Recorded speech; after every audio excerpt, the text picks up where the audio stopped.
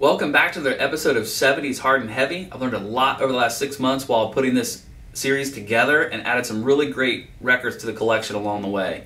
It couldn't be done without a lot of help from vinyl community members, and this episode is no exception. I'm inviting the highly qualified John to come along and help me out on this next couple of albums we want to show. You can check out John's resume down at uh, John's Rockin' Vinyl 77. Great community member, um, very big collector of psych, heavy psych, and 70s obscurities, as well as classic rock. We're going to talk about two albums today. We're going to cover Armageddon, and we're going to bring back Elf uh, that we were just talking about in the previous episode where I only had the CD. Well, John's got the vinyl and some really cool things to say about it. Uh, first, let's talk about Armageddon. So, John, why don't you introduce yourself and let me know what your thoughts were on the album Armageddon? Hi, Corey, and uh, everyone else that uh, happens to be watching this. This is a group, a supergroup from uh, mostly the UK, featuring uh, Keith Relf on vocals. It's uh, Armageddon.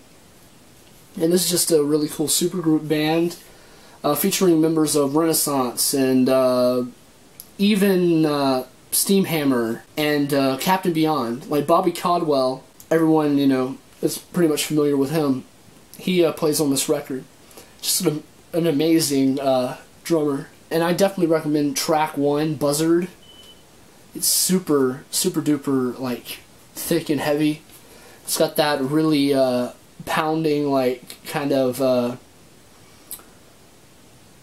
what what people call it uh, proto metal you know that early uh, early early metal heavy you know stuff just a really cool album uh, I say mostly uh, mostly prog hard rock kind of in the same vein as the Captain Beyond uh, maybe the songs are a little more long-winded uh, as compared to Captain Beyond, but still a really solid album and definitely worth checking out. And uh, I actually do have the original inner sleeve, which is quite cool to have. It has some uh, staining on it, but it's pretty nice on together. Just a really great album and a great one to check out. Thanks, John. And I absolutely agree. This is a very cool album. Uh, it's nice and heavy, but it also has a lot of prog moments, which I think makes it really interesting. A lot of albums, or I mean, a lot of bands tend to do two or three albums. One is more of a rock album, one is more of a prog album, one's more experimental around this time. These guys seem to just mix it all up into one album, and it's a good thing because this is the only album they did as a band. Um, Bobby Caldwell cited management issues as the main reason. And then also Keith Relf, his kids were in London while he was in the United States working on this album. Um, so some of those things made it more difficult. But I guess the manager up and disappeared, and because they were worried about uh, getting sued, they really couldn't do anything else with the band. And then unfortunately, Keith uh, had passed away, uh, being electrocuted about a year after. So it's kind of a sad, sad saga. But that's how a lot of these great bands end up being. It would have been really cool to see what they did if they did a second album. I picked up an original recently. Happens to be a white label promo copy. It's in pretty good shape. It has the original inner sleeve, uh, but it did receive the whole punch along with the album uh, due to it being a promotional. So yeah, thanks for the insight on that album, John. And I think I will drop the needle on Buzzard.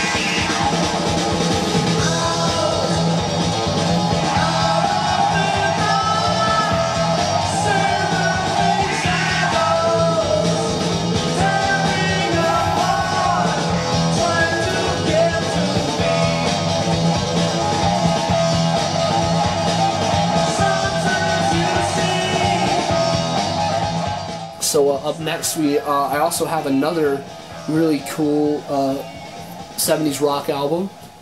Uh, this album features another pretty much pretty famous member, or very famous actually. Uh, here is the band called Elf, and this particular band features uh, Ronnie James Dio. Uh, and of course, Ronnie James Dio would move on to Ritchie Blackmore's Rainbow, and uh, even join Black Sabbath. And he'd have his own band later on, you know, in the '80s. But uh, it's just a really, uh, really great rock album. It's kind of more on the boogie kind of side. There's some keys, you know, some keyboard playing and uh, piano. But um, still a really good, uh, solid album. I highly recommend, highly recommend Nevermore, which is the third track on side one. Uh, just a super track and uh, definitely worth your time to listen to this album. This is actually a Canadian pressing, and uh, that I actually picked up uh, online. And uh, if you look on the back, Ronnie James Dio is actually listed as uh, Ronald Padavona, Padavona, which is basically his grandparents' name when when they moved over, when they moved to America. They changed their last name, you know, like a lot of people did, um, to suit you know the more American standard or whatever. And he decided to use that old name on this album to kind of uh, commem- commemorate his uh, family, you know, his original family name, and uh, that really meant a lot to him personally to put that on the record, and that's what he did. So this is the the first and last uh, album where it was uh, where he was uh, listed as that particular name.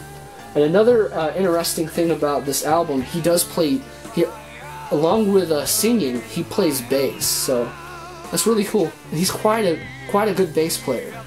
So uh, definitely worth uh, checking out this album.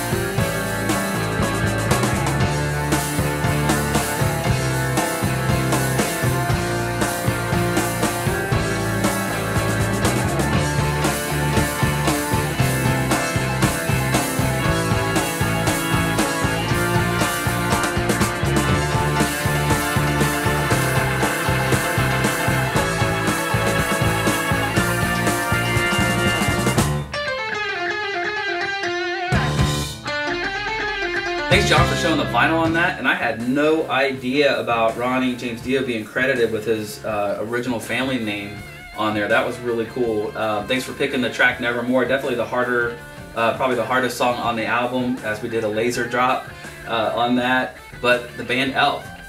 Uh, really good album. It's really strange kind of hearing Dio do this more Mick Jagger's style of vocals than it is with Dio. It's very strange to hear that. But it's a very cool record. It's definitely heavy. It's got guitar all over it. And the coolness factor with Dio in there definitely makes it qualify for 70s hard and heavy. So thanks a lot for watching another episode. Thanks, John, for joining me and collaborating on uh, the video so we can make uh, things a lot more interesting for the viewers. And your collection is awesome.